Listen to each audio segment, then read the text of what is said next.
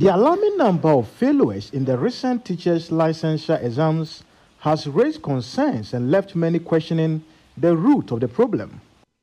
However, during Citi News' visit to Holy Child College of Education in Sekondi, the students voiced their disagreement, stating that the failures couldn't be attributed to the regular colleges of education students. Those that failed, I would ask who are they? They are the distance students, the sandwich students.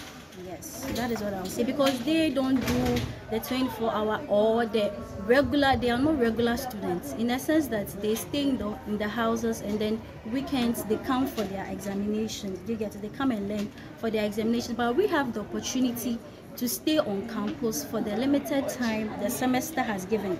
Do you get it? Aha. Uh-huh. So it's it's not from colleges of education students, no.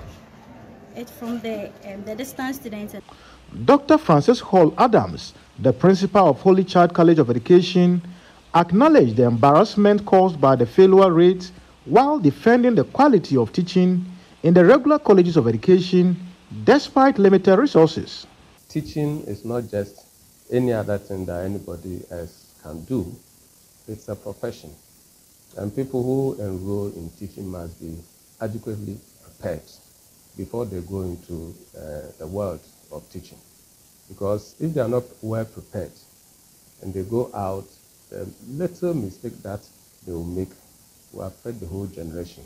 The Holy Child College of Education has a, a lot of challenges, and uh, one of them is a lack of, uh, you know, halls of residence for the students. We don't have enough mm. infrastructure. So uh, most of our students, that is why we are not able to keep all the students on campus at the same time. And our population is so huge, and we need assistance for, you know, in that area for halls of residence. We don't also have bungalows for tutors. Uh, most of our tutors are staying outside and we need all this so that the school can move on.